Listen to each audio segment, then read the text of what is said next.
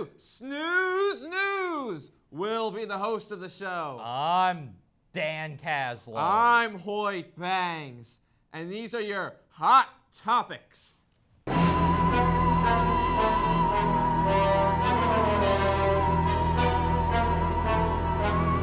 The magazine drive. Some say it's just another fundraising event, but it is much more than that. It is a time for children to bond with their neighbors and sell them magnificent magazines made by the finest of people. Already sound like a mouth-watering deal? Well, wait until you hear this one. You get prizes. For example, for just five sales, you can win a home planetarium. Sound appetizing? But wait, for 10 sales, the company has upped the ante with an interactive dinosaur learning toy. If you just soiled your pants with that one, wait until you hear the next prize. For 30 sales, you get, that's right, a beboppin' boogie light.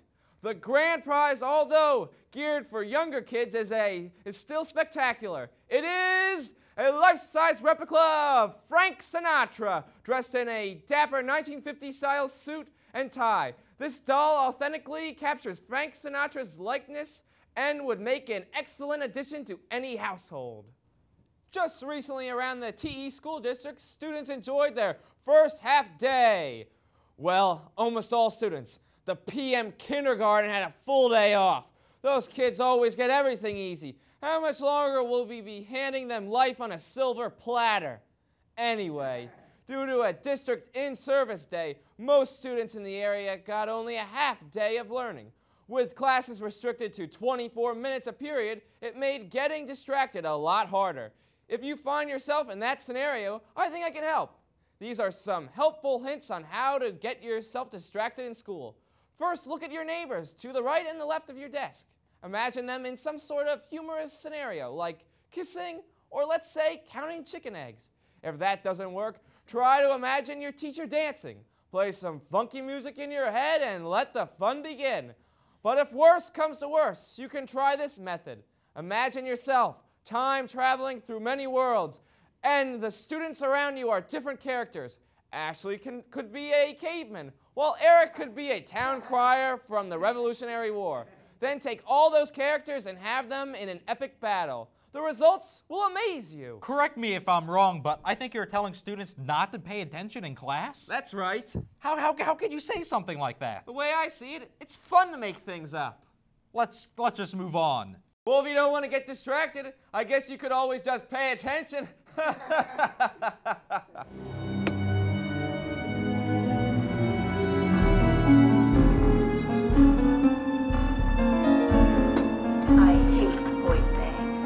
Whenever I see him in the hallway and I try to say hi, he doesn't even say hi to me. He ruined my life. I hate his show. I should be the star of that show. It means nothing. There has to be some way I can take over that show. The show will be mine. well, thank you, Hoyt. Hopefully students will have fun on their half day. Anyway, it's Halloween and everything seems to take on an eerie feel to it. Last season, our Halloween show, some crazy things happened. If you don't remember, Hoyt was kidnapped by Dr. Epson. Thankfully, we are all now friends with one another. Even though Hoyt and me are just clones. But I bet if the real Dan and Hoyt were here, they would say the same thing. I wonder what they're doing right now.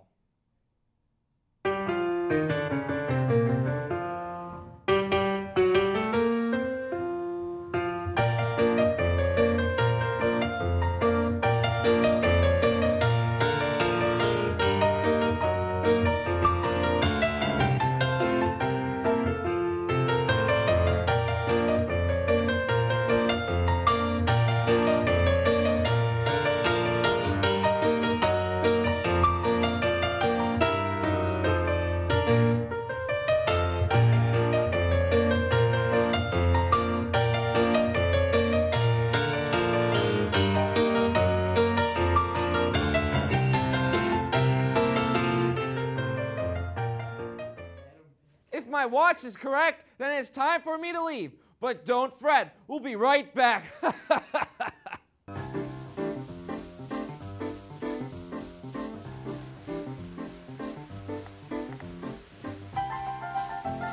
Sir, what would you like to drink? I could go for a nice, bubbly Coca-Cola. Only Coca-Cola, mind you. Sure thing, I'll be right back. Table one has a request for a Coca-Cola. We're all out of Coke. A Pepsi will be fine.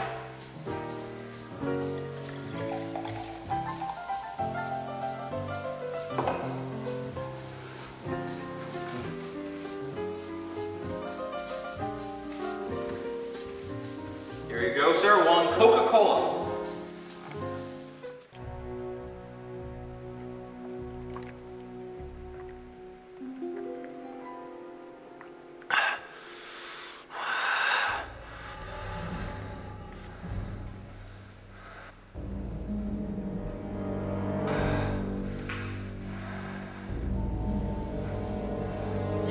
Sick son of a... Said. Ah! We're back! Now, you may know Halloween night is just around the corner, but how much do you really know about how to prepare for it? If you are a Halloween novice, then this next segment is for you. Let us now go to Dr. Epson and his Snews News workshop. Hello and welcome to Dr. Epson's workshop. Today we will be carving a pumpkin. First you must draw a face on the pumpkin. You must gather tools to carve the pumpkin, and you must select a knife. I do not like to use this knife because it's too large and accidents occur. Squirrel Man once hurt himself with this.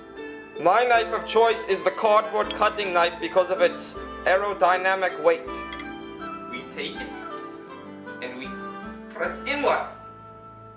Press inward. Press inward. Then you have to open it up from the top.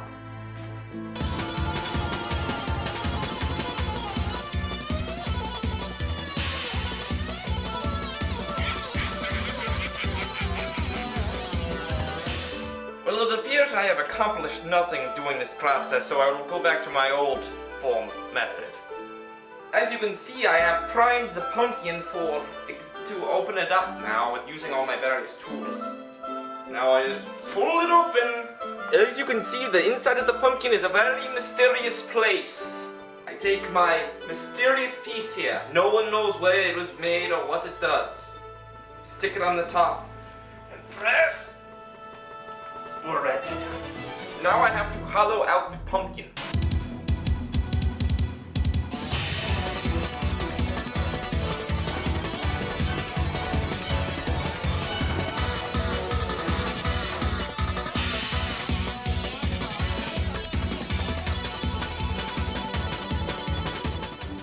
Check inside the pumpkin once you're done to see if there are any miscellaneous objects in there.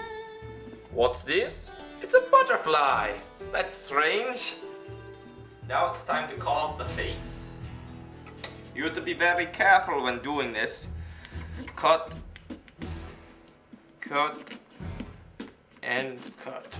Once completion of the jack-o'-lantern, you must name it. I have chosen to name it Everett. Now I must be going back to my laboratory to examine my blood samples, but we will show you what the jack-o'-lantern looks like in the night. Thank you for watching Dr. Epson's laboratory. Well, thank you, Dr. Epson, for that enlightening information. I hope that all our viewers are a little more prepared for Halloween. Now, moving on to the next part of the show, I've invited an animal specialist here tonight on a little segment I call Enter Who? And I've asked him to bring us a Halloween themed animal. He decided to bring a wild wolf. Although I'm not exactly sure what a wolf has to do with Halloween, let's bring him on out. Come on out, Mr. Levy. That's it. That's the last straw. That's it. I will take him down on the molecular level. I will make an army of evil clones. Gonna steal the DNA samples and kidnap Epson. What are you doing? I am here for the blood samples. You can't have them. Well, then I'm gonna have to take them. But you'll have to get through me first. Then we battle! I'm gonna get you! No, I'm gonna get you! I'm gonna, I'm gonna get you! Oh, I got my... Remember me as the greatest squirrel alive. I I now turn my ownership to the person who dethroned me by kicking me me. I'm the best. Now with Squirrel Man out of my way, nothing will stop me. Not so fast. DNA samples weren't meant for evil. I don't think so. You're coming with me. Excellent. The blood samples. Dr. Epson.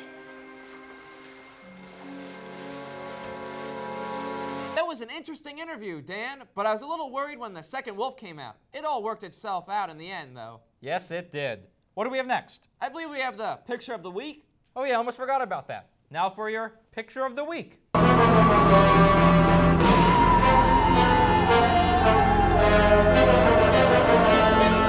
Sadly, we do not have a picture this week, but instead let us recall the loser Dan Yeager.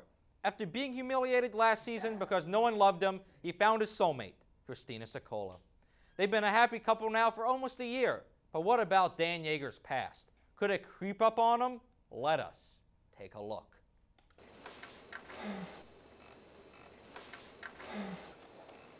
So what's your family like? They're pretty boring. Do you play any sports? I, I really gotta get. Check! You want to leave now? Do you want to go to a movie or, or dancing later? That'll be thirty-seven fifty, sir.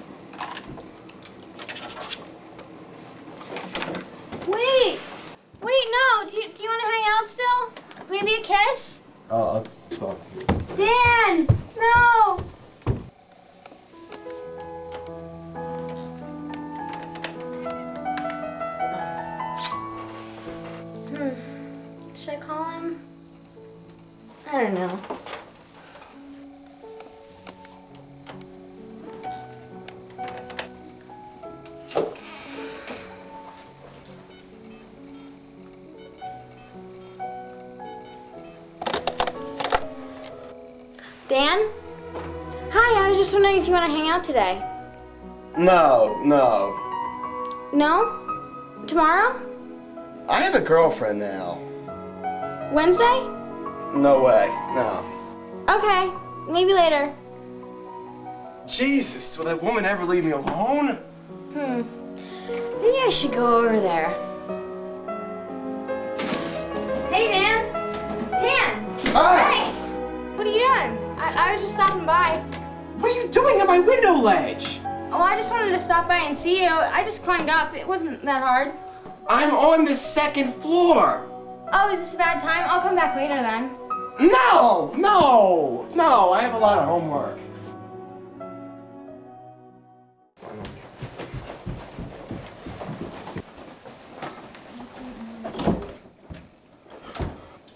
Hey, Dan. I didn't know you were going to be here. Get out of here! I, I have homework to do. Seriously. Okay, Dan. I'll take a hint. I guess I'm just going to have to fix my computer chips by myself. You like computer chips? It's just not enough.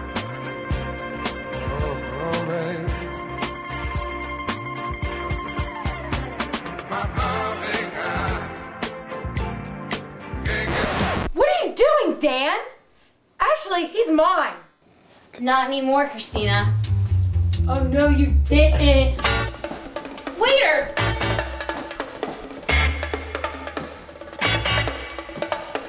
Ladies, ladies, please. There's enough Yeager for everyone. Yeager!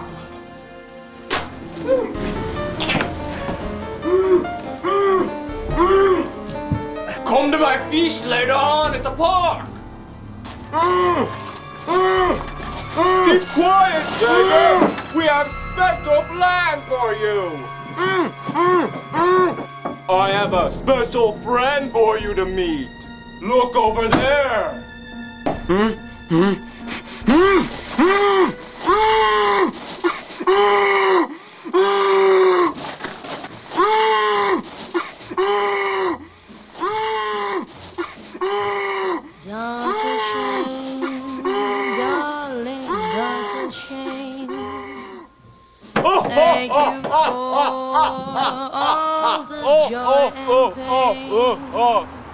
Welcome to my feast. Where's the food? Bring it on out. was the place we'd meet. Second seat, go Dutch treat. You were sweet, darker shame. This looks good. Darling, darker shame. Save those lies, darling. Mm. Don't explain. Delicious. I recall Kind of chewy though. Central Very good. Park in fall. How you tore your dress. Give our compliments to the chef. Hey, is that him over there? That's not all. Darker shame, darling, darker shame. Thank you for. My God, that's awful. D- did I just see what I think I just saw? Well, we'll have to send someone out to investigate this. Hmm, maybe Ben Filton? Dan, do we know where Ben is? What's going on? I'm being told that Dr. Epson was kidnapped. And what's worse, all our blood samples are missing. All of them? Yes, they are. And what's worse is with that blood sample, someone can make more clones of us. We gotta get to the bottom of this. Follow me. I saw Katie go somewhere over there. Let's go get her. All right, we gotta get those blood samples back. Katie, there she is. Come back here. Where did she go? Where is she?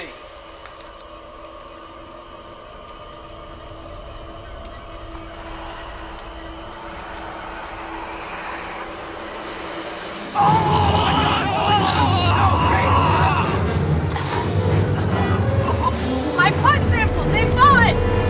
Oh no! Ha ha ha! I still have Dr. Epson! Wow, that was intense. It's too bad that the original blood samples are now gone for good, but at least no damage was done. well, except at Dr. Epson.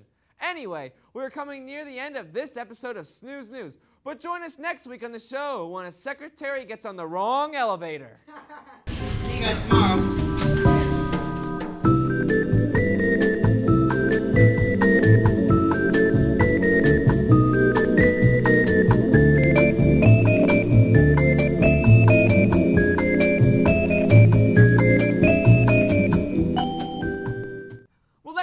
For October 29th, 2002. Thank you for watching. I'm Dan Caslow. I'm Hoyt Bangs, and you've been watching Snews News. Happy Halloween! So what are you doing this night for Halloween? I don't know, Dan. I think I might wear a costume or something. Wait, what kind of costume are you gonna be like I, I wearing? don't know. Maybe a mask, Ronald Reagan. Well, it's kind of interesting. Are you gonna wear like a ghoulish mask or something? I don't know. Whatever fits over my head. Wow, really? Have you ever like? What's your favorite kind of costume? Um, uh, black, white, red. I Well, I like all those colors, but I don't know why you don't have the green color. Like a dinosaur mask. Yeah, kind of dinosaur mask is kind of good. You you have a dinosaur mask you wore in like fifth grade. Yes, I do. Wow.